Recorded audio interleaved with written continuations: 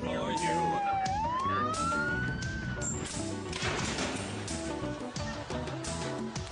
A lot of people say police on the East Coast use racial profiling, and that's simply not true. Oh, you meant a black man in a supermarket? How do you turn this thing off? Black male at a bus stop. I pulled over a suspicious vehicle on Barrington Street. Stand by for backup. Sorry, officer, was I speeding? Oh, no. Is there a problem? Oh, there certainly is. I didn't go through a stop. Why, why'd you pull me over? Ah, uh, because you're black? The suspect seemed disoriented. He didn't understand simple questions. He seemed to be on something. They're like that, right? But I am complying with your demands. Look, I have registration and identification. If you just let me get out of the car, I'll show you. Just put your hands out the window, please, sir. Okay, now open your door, please.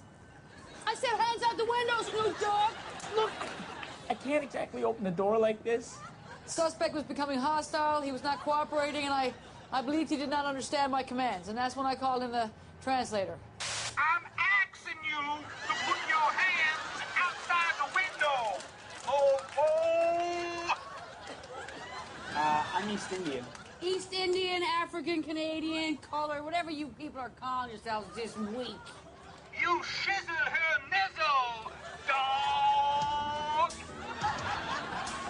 Just another day keeping Eastern Canada's streets safe. Oh, All units, black woman in shopping center. All units, please respond. Black man on City Street.